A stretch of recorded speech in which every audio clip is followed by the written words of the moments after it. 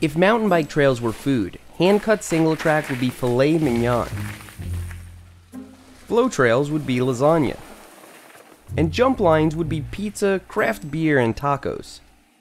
By now you can tell that I'm hungry, but I make these analogies because today's video is about what goes on in the kitchen.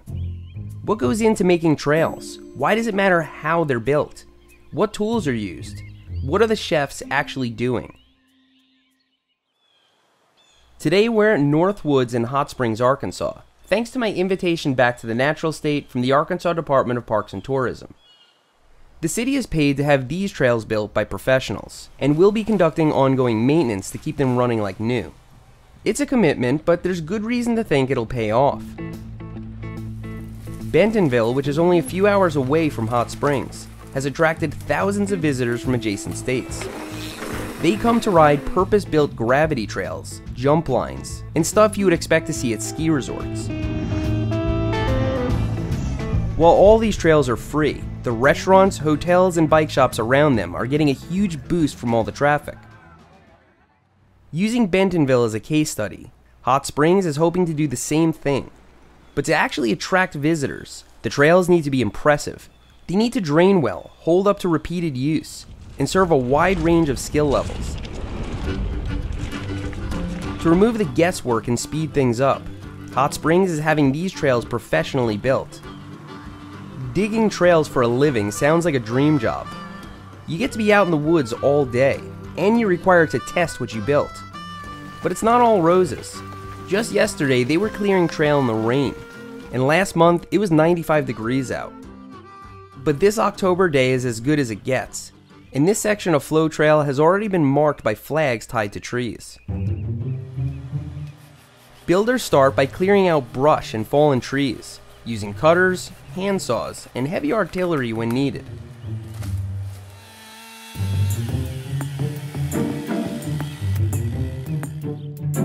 The debris is placed right in the middle of the pathway so the excavator can grab it all in one shot.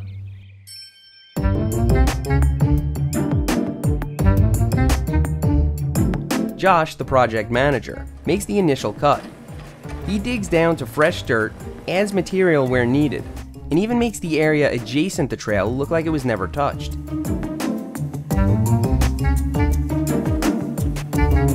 This will be a roller, and this will be a berm. We normally don't think of excavators as precision tools, but an experienced operator can roughly sculpt much of the trail using only this machine. The kind of flow and jump trails you're used to seeing at bike parks are almost always machine built, since they require so much dirt to be moved. On a trail system like this, professional builders can lay up to 250 feet of flow trail each day.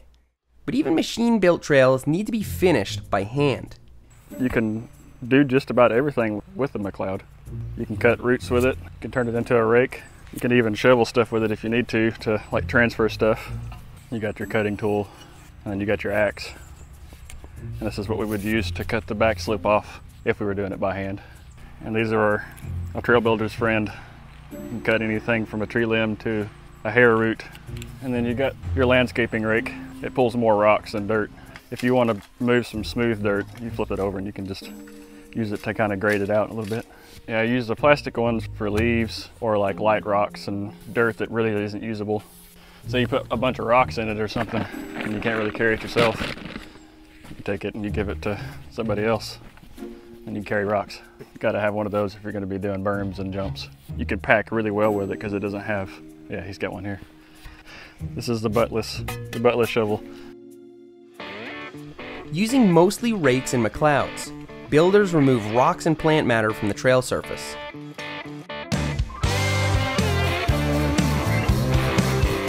This shale especially is creating a lot of bonus work for our builders today.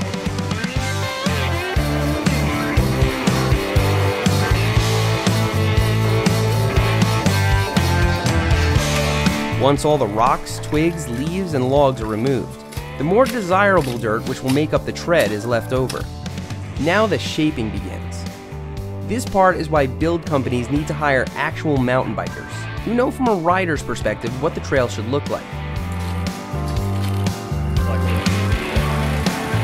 Once the basic shape is complete, Flat sections and rollers can be finished with a plate compactor. By running over the surface a few times, the tread becomes durable enough to hold its shape. Berms are usually compacted by hand using a flat shovel. Since it rained the day before, this dirt is packing down quite nicely, but during a dry spell, the builders may choose to work on something different, like clearing a corridor or hand cutting a bench.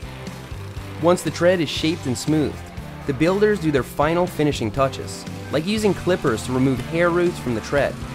Then everything is covered with a tarp to give the soil a chance to harden. Once these trails are ready to ride, the builders will test them themselves and make a list of edits to refine the trail even further. But even after all that, there's still work to be done. Trails get ridden and rained on. This perfect tread will eventually give way to loose rocks and get covered in pine needles. To keep the trails running like new, maintenance like this must be done on an ongoing basis. Rocks and debris are raked from the surface. Patchwork is done to fill holes, and the process is repeated many times per year. But the section we saw today is only a fraction of what's out here. When Northwoods opens to the public later this month, you can rest assured that the builders will have tested every inch themselves.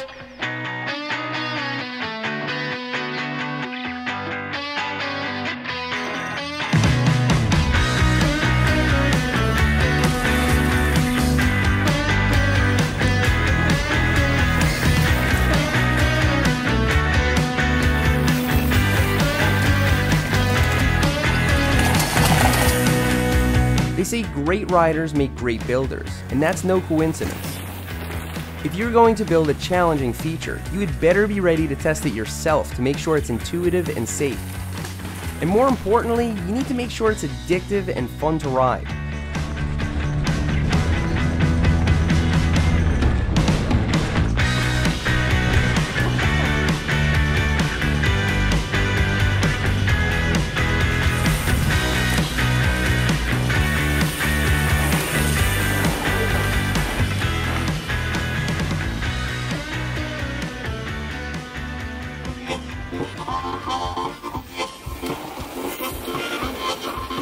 If you live in Dallas, Austin, Kansas City, Memphis, or anywhere within earshot of Hot Springs, Arkansas, these trails were built in the hopes that you will come here.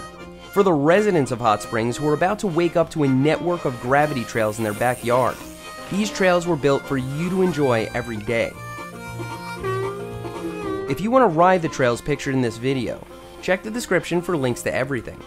And if you want to know how to convince your city to build trails like this, Stay tuned for the next video, which takes place at a public gravity park in Bentonville. We're creating basically a Disney World for mountain biking. Thanks for riding with me today, and I'll see you next time.